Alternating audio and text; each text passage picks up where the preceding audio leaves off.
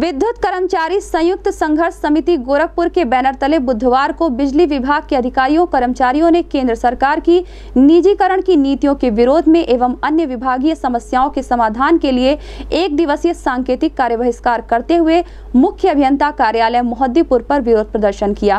कार्यक्रम की अध्यक्षता इंजीनियर अजय कुमार और संचालन इंजीनियर दीपक गुप्ता ने किया। इस संबंध में संयुक्त संघर्ष समिति गोरखपुर के संरक्षक इंजीनियर अजय कुमार ने बताया कि निजीकरण का प्रयोग उड़ीसा, ग्रेटर नोएडा और आगरा में बुरी तरह विफल हो चुका है। फिर भी केंद्र सरकार ने बिजली के निजीकरण हेतु इलेक्ट्रिसिटी अमेंडमेंट बिल 2020 एवं स्टैंडर्ड बिडिंग डॉक्यूमेंट जारी किया है, जिससे देश भर के बिजली कर्मियों में भारी गुस्सा है।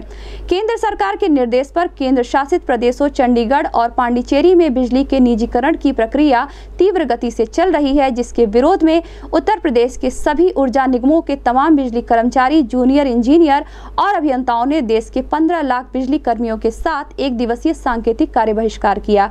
आज के सांकेतिक विरोध प्रदर्शन में संयोजक ऐश्वर्य सिंह इंजीनियर विजय कुमार यादव पुनीत निगम अखिलेश गुप्ता संदीप श्रीवास्तव रामकिशन रामजनक सिंह हवलदार रावत सोमदत्त शर्मा अरुण गुप्ता अमन तिवारी सहित अन्य लोग मौजूद रहे।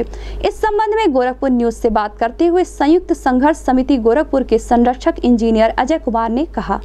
हमारी मांगे पूरी हो। चाहे जो मजबूरी हो। हमारी मांगे पूरी हो।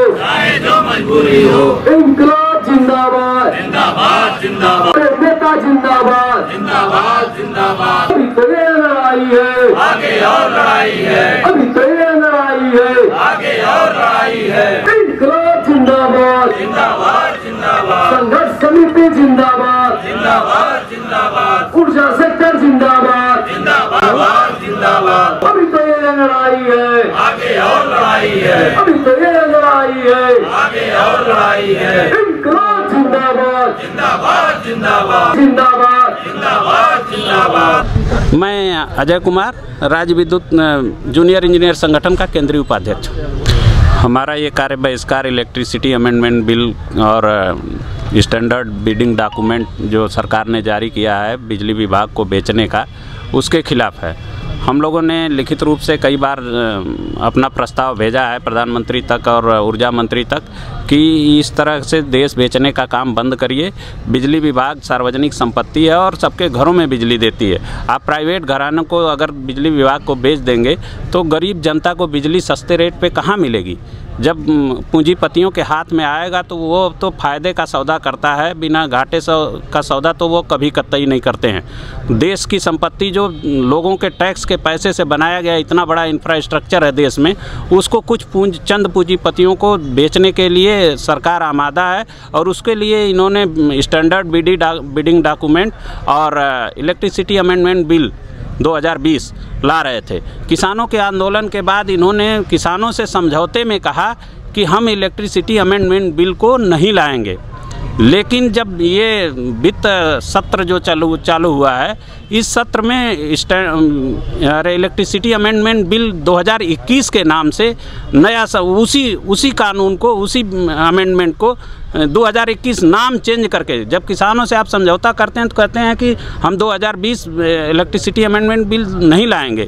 लेकिन इलेक्ट्रिसिटी अमेंडमेंट बिल 2021 ला रहे हैं उसी को। नाम चेंज करके। इसके खिलाफ हम लोग आंदोलन कर रहे हैं। हमारी मुख्य मांगे हैं कि इलेक्ट्रिसिटी अमेंडमेंट बिल जो है, इन्होंने लाया है, उसको वापस लें। दूसरा ये स्टैंडर्ड बिडिंग डॉक्यूमेंट इन्होंने जो जारी किया, उसको निरस्त करें।